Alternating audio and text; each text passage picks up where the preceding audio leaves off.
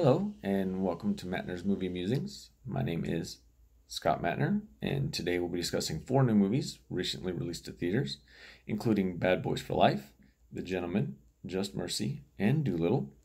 Uh, our first movie is Bad Boys for Life, uh, the third in the uh, Bad Boys uh, movie franchise. And I have to say, uh, this is not the movie I was expecting. Uh, it's certainly a far cry from the excess and flamboyance of uh, Bad Boys 2. And uh, it's been 17 years uh, since the release of that sequel, and it's going on uh, 25 years uh, since the release of the original, which was a surprise hit that launched the career of its two stars, then TV stars Will Smith and Martin Lawrence. And uh, in that time, since the release of the original, uh, these, uh, I mean, the actors, of course, have gone on uh, to great success um, and uh, with their movie careers. Uh, but these these characters in particular um, have seemed to stuck with us in, in a strange way. I mean, especially given the fact that these two films aren't, you know, they aren't great films. Um, you know, they they're not, um, they don't really break the mold or really elevate, you know, the genre uh, in any way, um, although they are you know good action films in their own right. Um, but uh, they you know uh, while I do really enjoy you know Bad Boys, Bad Boys Two was you know just a seemed to be an exercise in overabundance. Uh, but uh, what, what really you know stuck out of that film, uh, even more so than the original, was you know these characters uh, and uh, the the personas of, of the of its stars, um, and you know their performances, and uh, they've you know they've seemed to only grow more beloved and more reverent over over the years, uh, and it's something that this film really takes note of and really builds upon. Um, you know this is a uh, slick, sharply focused, and, and deeply serious action picture. Um, I mean, even its action sequences are uh, very intense and uh, realistic. Um, uh, the plot uh, involves uh, an assassin who is targeting, uh, you know, law officials of various ranks, and uh, Mike Lowry, uh, played by Will Smith, turns out to be a target um, of the assassin, and when he he does get shot and survives, after after surviving, um, he pleads with Marcus, played by Martin Lawrence, uh, his longtime partner, uh, who is uh, considering retiring. Um, Mike pleads with him to go on one last uh, ride with him, and in order to track down this assassin, and uh, they are aided by a group of young modern officers known as Ammo, and uh, I, re- I really like these characters as well. Uh, it's interesting how the film uh, handles this uh, young and old uh, relationship and kind of uh, it doesn't really succumb to any of the cliches like passing the torch um, or making it this you know old versus new type thing. Although there are many jokes um, at each other's expense. Um, but this just further solidifies these characters um, as you know, being being older, um, and and that's kind of the approach that the film takes. Um, is just uh, you know, uh, it, it, really touches on the fact that they're getting older and what that means. Um, both as uh, men, as uh, police officers, uh, you know, as friends, um, and and and it's it's really just rare to see a film, um, you know, deal with these kind of things. You know, I, I, I was just surprised at how touched I was, uh, you know, on a personal level uh, with this film. Um, you know, the, the way it deals uh, with such universal uh, yet underanalyzed themes, uh, you know, especially in Hollywood action film, uh, as, you know, mortality, the importance of friendship, family, you know, and, and the forging of those two. Um, you know, it really goes into how, you know, these, these two friends really are family and you know, uh, I, it's and it's it's rare. This is the rare sequel that's even better than the original. Um, and I think that the reason for this is it's, it's, one of those sequels that that further develops these characters. Um, you know, I, it reminded me uh, in that way of, of Lethal Weapon two, in in the sense that that it's it's it's a further exploration of its characters and, and the relationship relationship between them.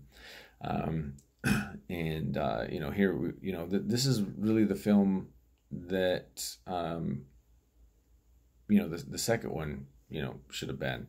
Um, you know, rather than just throwing these characters into another you know tired action plot and having all this stuff happen around them um, or to them, uh, this film really is about them.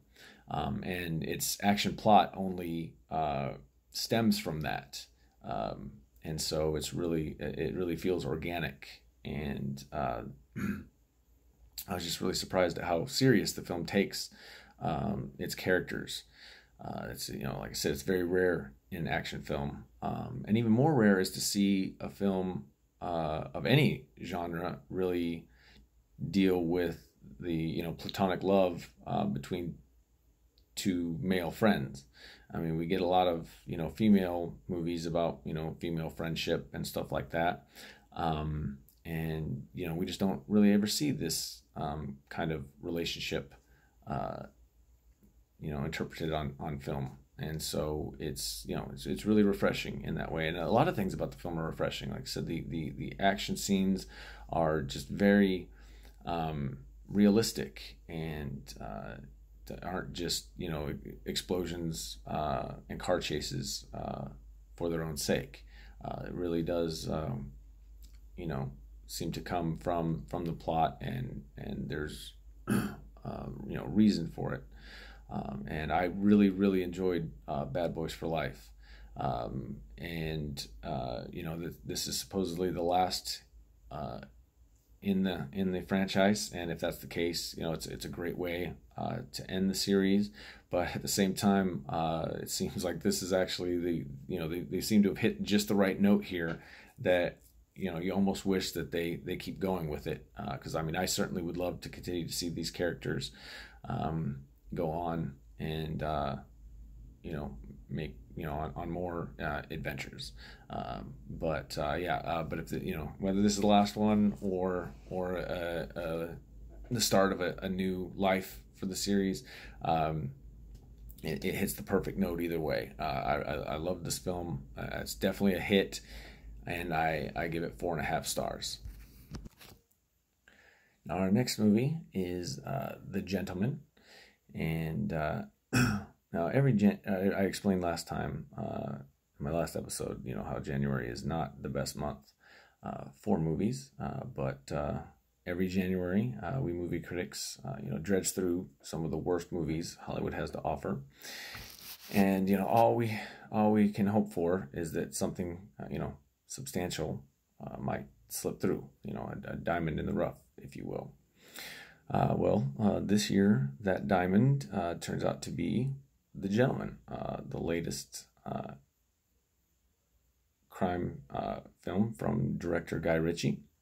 And uh, boy, is it a, a welcome uh, return. Uh, after a decade of you know revisiting other people's already established universes, you know, such as you know Sherlock Holmes, King Arthur, and more recently Aladdin, Ritchie finally does return to his own filmatic uh, you know, world uh, or you know underworld, um, if you were.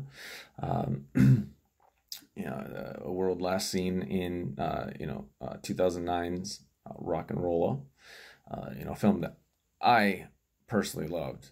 it's still one of my favorites. Um, you know, but not a lot of other people did, which probably is you know led to his film choices over the last decade.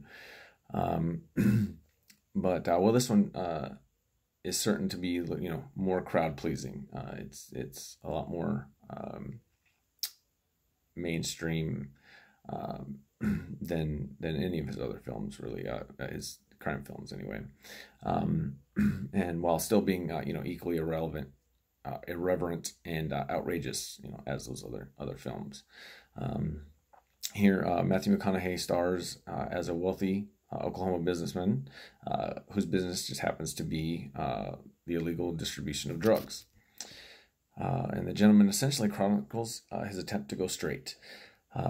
But standing in his way are a group of competitors who want to take over his business for as little money and effort as possible um, and assume incorrectly uh, that his attempt to go straight uh, is a sign of weakness.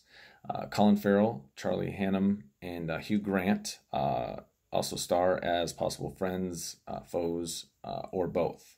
the fun of a Guy Ritchie film um, is that you never really know where a character, you know, in the end, where a character or his loyalties truly stand. Um, Now, while this isn't the best of uh, Guy Ritchie's uh, crime pictures, uh, I'm still a staunch uh, supporter of RocknRolla for that title. Uh, but The Gentlemen is probably his most fun and uh, certainly his most crowd pleasing film um, to date. I really enjoyed this film. I especially like the actors and the performances, um, you know, especially from Hugh Grant, who gives, you know, against type uh, performance here and uh, is really the driving center of the film, uh, even though Matthew McConaughey is the star. Um, and uh, also, Colin Farrell uh, makes a, a small but very memorable uh, turn uh, as um, well. You'll see for yourself, but it's definitely mem- one of his more memorable performances. the gentleman was, you know, a lot of fun um, and uh, highly recommend it. Uh, definitely a hit, and uh, four and a half stars. Our next movie uh, is Just Mercy, um, and it's quite a change of pace uh, from our previous two films that we've discussed. Um, and uh, based on a true story of Bryan Stevenson, a civil rights activist who has spent his entire uh, career uh, fighting to prove the innocence of the wrongly convicted. Uh, Just Mercy uh, tells the story of one specific client, uh, Walter McMillian, uh, played by Jamie Foxx, um, who, as is usually the case in this kind of situation, found himself at the wrong place at the wrong time, and and is now up against and is the victim of that racist system. and you know we see both men struggle uh, with the predicaments and obstacles um, of uh, their, you know, particular situations. Um, uh, Bryan Stevenson is played here um, by uh, Michael B. Jordan um, in a uh, very good performance, very strong performance, um, and uh, he's really the the strength of the film, um, along with Jamie Foxx. you know, but a little more on that uh, later. Uh, you know, the, the problem with this film um, is uh, really the problem with most um, films, um, you know, of this topic um, or uh, of this of this type. Uh, you know, the filmmakers are forced to uh, condense, you know, a large, complex topic, you know, into a simple, you know, palatable two-hour story and um, it's just not easy to do. May not be. I mean, it's not impossible, but it's just um, it, it is you know a tough tough thing to you know to attempt. And if you are going to you know to make that attempt uh, you really need to you know hone in on on your topic on your characters. And uh, just mercy never is able you know to do that. Um, and uh, it's actually you know rather sub- subdued uh, considering its timely um, and volatile topic, um, you know, as well as the social relevance um, of its protagonist. Uh, you know, you just you always expect the film to to eventually like erupt, and it just never does. Um, and I think a lot of that has to do with the treatment of its two characters um, you know, both uh, that of, of uh, Stevenson uh, and McMillian. Uh, neither man is able to or allowed to be angry enough. Uh, they both seem uh, to be um, just rather subdued, um, and you know, just never really seem to voice uh, what needs to be said. Now I know partly this is due to the you know the time of you know when this takes place and you know black men weren't necessarily allowed to you know state their case um, or say how they felt um, however even alone, um, you know, away from from the public eye. These characters never really seem to come to life uh, the way that they should, um, and uh, which is which is really you know a shame, especially given you know the fact that you've got Jamie Foxx and you know and Michael B. Jordan, two very talented uh, you know actors who have been who've shown that they can be emotionally you know powerful uh, before here you know it seems though that their you know their hands are sort of tied um, by the screenplay and you know and the direction of uh, Destin Daniel Cretton um, who showed much more promise uh, and displayed more honesty and passion uh, in his previous film, uh, Short Term 12, uh, which was a fictional story uh, about a group of social workers uh, and the kids they cared for. Um, even his style, his filming style in that film was more intimate and straightforward. Um, and it was kind of in a documentary sort of way, not not like the Blair Witch Project or something like that, but it was, you know, in that kind of vein where we felt like we were eavesdropping on real life. Um, and that's an approach that would have greatly uh, solidified his intentions here. Um, and, uh, but, uh, but yeah, here he, he seems to kind of have, have distanced himself uh, more from the material. Um, and, uh, you know, this time he seems to be, you know, trying too hard to make an emotional impact. Um, and it just, it just feels forced. Um, I think I mean, it partly is to do with with the topic. It is, you know, a tough topic to to tackle and to deal with. And the film does gain a lot of emotion from, you know, its premise and um, and I mean, it's hard to walk away unmoved. I mean, this is a very moving film, um, but it's more of a you know a powerful story, you know, in which the message um, overpowers uh, the narrative, and um, I feel that if uh, Cretton had focused more on the characters rather than trying to follow this, you know, already set storyline, predictable, you know, you know, we, have seen this before. We pretty much know how the film is, um, you know, is going to end where it's where it's going uh, once it gets once it really gets started.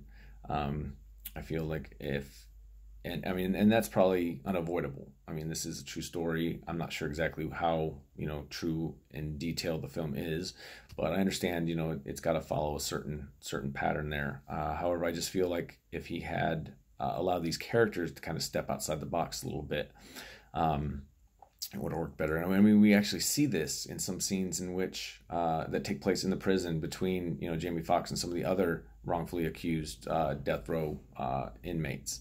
I feel like um, in those scenes the film really does come alive, and we really get get a sense of humanity and real you know uh, real life, real real people uh, in those moments. Uh, but then you know whenever the film you know steps back into court. Um, it just it, it feels very much like a like a movie um, and uh, that's where the film, you know, kind of lost me. Um, but I mean, it's still a really good movie. It's still, uh, like I said, very powerful, uh, moving, touching film. I mean, the, the topic, you know, couldn't be more timely. Uh, it's definitely a movie worth seeing, and uh, you know, it's still a hit for me. Uh, you know, four stars. I just wish that um, you know the director had just pushed the envelope a little bit more, tried to step outside the box, and and have made you know more of an effort uh, to really uh, display the, the, you know these characters as opposed to to following uh, an already set uh, you know film screenplay uh, or you know filming pattern. Our last film uh, is Dolittle, and we're really stepping down here um, in quality from the other films. I mean, this is seriously the the first big disappointment of the new year, and boy, is it ever. Uh, this I I don't even know where to start. Um, there's so much wrong uh, with this picture. Uh, it's attempting just to to sit here and just list list the ways, um, but it's also so frustrating um, that you just you want to want to vent um, to somebody. Uh, but uh, I'm not going to spend a whole lot of time um, doing that. Uh, but I do want to just cover a couple of areas um, in in which the film, uh, you know, really really fails. Um, you know, this is the third incantation of Hugh Lofting's uh, beloved children's character. Um, and uh, you know, while unnecessary, you know, we definitely don't need a third one. Uh, I could see where uh, it could have worked. Um, you know, it could have taken a different approach. You know, the first film uh, released in 1967 was a very uh, innocuous, you know, musical, um, and then of course, you know, almost 20 years later or 30 years later, we had the you know the Eddie Murphy version, um, you know, which took a totally different approach um, to the to the character and the stories. Um, and so you know you you can see the potential here for you know uh, an exciting family adventure you know in, in the vein of you know Indiana Jones or you know Pirates of the Caribbean. Um, unfortunately, it uh, you know doesn't come close um, to those uh, you know those films. Um, there's not really any attempt to you know be uh, original or you know uh, take take this character or or uh, family movies in any sort of new new direction. Uh, following very familiar territory. Um, the story is very predictable. Um, from from about the 15 minute point, we, we know pretty much everything that's going to happen, um, important that's going to happen, and uh, nothing else interesting, um, you know, happens along the way. Um, basically, you know, we, we see John Dolittle, uh, played by Robert Downey Jr. Um, he's, you know, mourning the loss of his uh, beloved wife who died at sea, and he's secluded himself um, in his in his uh, home, uh, you know, accompanied by only his animal friends. And um, there's a plot involving um, the uh, the Queen of England, and she's sick, and he's the only one who can save her, and uh, also along, uh, and so he's um, asked to go on a on a voyage in order to track down the uh, medicine that will save her, and also along the for the ride is a young boy who's come upon his home. Um, you know, a, a, young boy who loves animals and um, I don't get too much into that, but anyways, they go on a trip overseas with a bunch of animals on in tow, and um, and uh, yeah, that's basically it. Um, and uh, there really isn't much else to discuss about the film. Uh, it's uh, pretty tedious and boring. Uh, I was very distracted by the animals who are all voiced by you know popular uh, personalities. And while I get that the whole premise of the film is that you know these animals can talk, uh, it was just a distraction for me to you know recognizing the the celebrity voices and uh, you know not too much effect. I mean that's pretty much all that the voices are. It's just like oh that's so and so or oh that's so and so. They don't really do or say anything that really uh, makes it you know important that those particular people voice these characters. Um, and uh, I was mostly just annoyed uh, by them uh, once they get to the island in which the um, the uh, you know the medicine supposedly uh, resides. Um, there's a character, uh, the villain uh, of the of the film, played by Antonio Banderas, uh, who, while he is the most interesting character in the movie, uh, it's also an embarrassment just to see him, especially so soon after his great portrayal um, in the new movie Pain and Glory, in which he gave you know, an Oscar nominated performance. Um, here, he's obviously just slumming it. Um, and um, last I just I really had a problem with Robert Downey Jr. Uh, I mean, he seems bored here, and I, you know, I'm certainly tired of seeing him, you know, doing the same old shtick.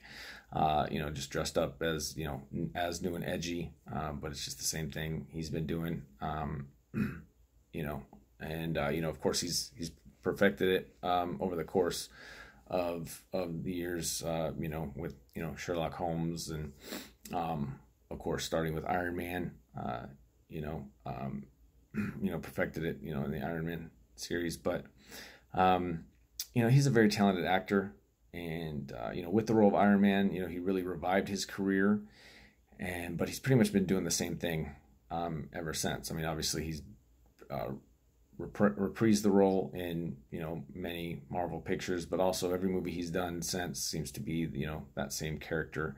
Um, and uh, but you know now that he's ended his um, his term as, as Iron Man, I think it's time for him to step up and, and try something new. Uh, you know, it's his chance to prove, um, you know, his skills beyond, uh, you know, the same smartass, cocky attitude um, that is. Let's be honest; it's more of a, a presence uh, now, um, you know, persona than than a performance. Um, and so I think uh, it'd just be nice to see him show, you know, a little more growth. Uh, maybe even you know do a drama um, or or you know some something else other than just you know playing the same same character. Um, and he's certainly not doing himself any favors by by uh, performing it here. So um, there's nothing here to you know there's nothing here to distract us from his tired um, persona. And maybe had he chosen a different route, uh, like say you know Johnny Depp did with Pirates of the Caribbean, um, and if he had actually tried to play a character here, uh, there, you know, maybe the rest of the film might have fallen in line. Um, but as it is, there's nothing here uh, to recommend, and I definitely recommend skipping uh, Dolittle, which is a huge miss, and uh, I award two and a half stars. Well, that has been another episode of Mattner's Movie Musings. Uh, thank you uh, for joining me and, and for watching, and uh, we'll see you next time.